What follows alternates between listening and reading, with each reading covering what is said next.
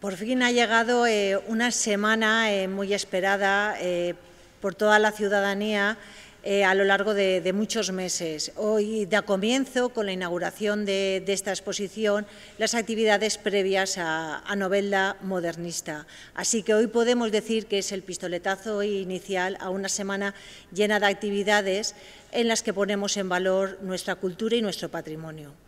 este año, el la feria o novela modernista eh, se ha centrado en la llegada del tren. ¿Y por qué se ha centrado en la llegada del tren? Porque la llegada del tren a nuestra ciudad eh, supuso un, impulso en, la economía y hizo que, nacieran una serie de familias burguesas que fueron las que trajeron el modernismo, con lo cual vinculamos la llegada del tren a los orígenes del modernismo en Novelda. Eh, tengo que agradecer a la, Asociación Amigos del Ferrocarril de Alicante por brindar todas esas piezas que con tanto cariño y tanto esmero han estado recopilando durante tantos y tantos años y nos las dejan durante unos meses o nos las ceden durante unos meses para que podamos disfrutar de, la historia del ferrocarril, que también está vinculada con, la historia de nuestra localidad. Eh, podemos disfrutar de, objetos antiguos, pero también de objetos de diferentes épocas hasta llegar a la actualidad, además de paneles explicativos de lo que supuso la llegada del tren a Novelda.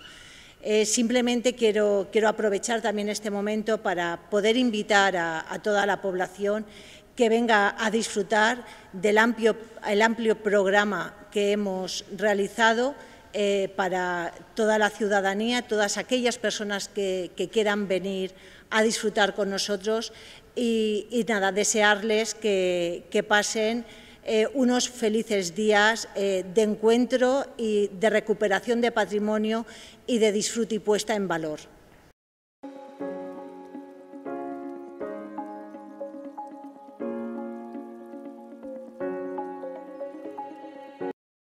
Siglo XIX, que me parece la etapa más interesante, ¿eh?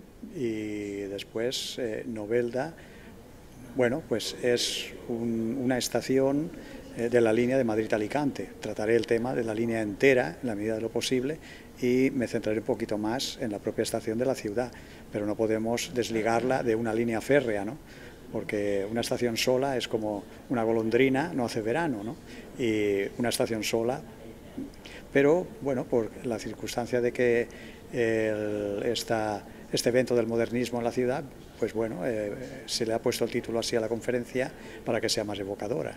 No, simplemente una cuestión histórica ¿no? de los personajes que hicieron posible la llegada del ferrocarril aquí, de los financieros, de los arquitectos, los ingenieros, las peripecias que, tuvo, que, bueno, que tuvo este ferrocarril en sus primeros años.